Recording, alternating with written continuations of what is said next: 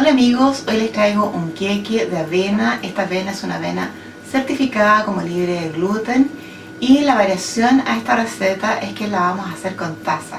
Nosotros generalmente utilizamos gramos para todas nuestras presentaciones, pero muchas personas me han pedido que por favor lo haga en taza. Así que este es un queque que está hecho con taza y especialmente a pedido de todos los que nos piden que lo hagamos con taza.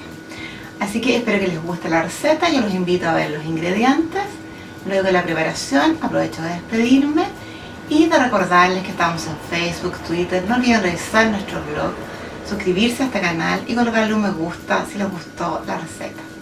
Hasta la vista. Los ingredientes para el queque de avena sin gluten y sin lácteos son una banana que está madura, Seguimos con avena. Esta es una avena que está certificada como libre de gluten y son dos tazas más bien colmada y esta es una avena de cocción lenta. Seguimos con una taza colmada de maicena o fécula de maíz. Continuamos con nueces, que estos son más o menos aproximadamente media taza, y las vamos a picar. Aquí tenemos aceite de oliva, que vamos a ocupar 4 cucharadas de aceite de oliva, dos huevos más bien grandes, 4 cucharadas de miel, una miel de abeja buena. Continuamos con una cucharadita de bicarbonato, una cucharadita de esencia de vainilla y canela en polvo a gusto. La preparación es la siguiente. Esta banana está bien madura. Le vamos a retirar todas estas partes café o todas las partes que no nos gustan. De repente pueden echar a perder la preparación si tienen algún sabor que no es muy agradable. La molemos. Esta banana al estar eh, madura nos va a aportar azúcar a la preparación y así podemos reducir un poco más el tema del azúcar.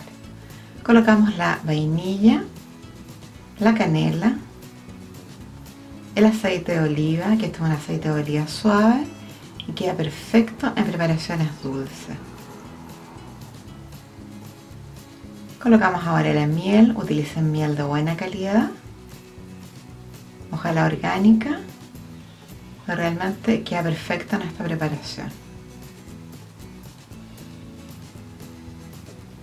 Y con el tenedor nos ayudamos a unir bien estos ingredientes.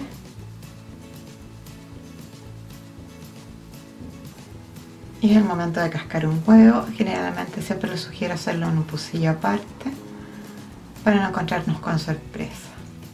Colocamos un huevo primero después el otro y seguimos uniendo. Y este es el momento de empezar a colocar la avena vamos uniendo. Colocamos la segunda taza de avena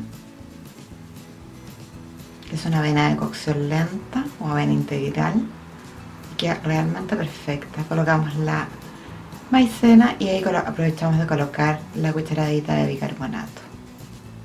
Unimos bien estos ingredientes, bien unidos todos. Vamos a colocar por último las nueces que se nos estaban olvidando y vamos a unir bien estos ingredientes. Realmente queda riquísima esta preparación. Esto es un molde de 25 por 13 centímetros lo vamos a aceitar y vamos a colocar abajo un papel mantequilla.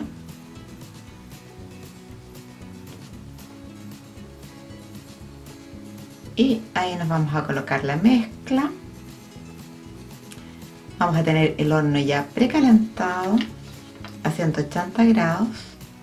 El tiempo de cocción siempre va a variar. Eso depende siempre del horno que ustedes tengan este es un horno eléctrico, así que nosotros más o menos calculamos entre 35 a 40 minutos. Pero eso siempre va a depender del horno que tengan ustedes. Nosotros en 40 minutos estuvo perfecto, estuvo con un dorado realmente hermoso. Lo retiramos. Una vez que esté tibio,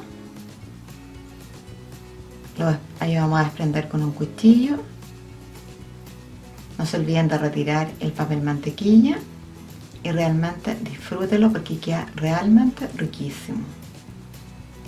Ahí lo vamos a aprovechar de partir para que ustedes vean cómo queda. Realmente delicioso.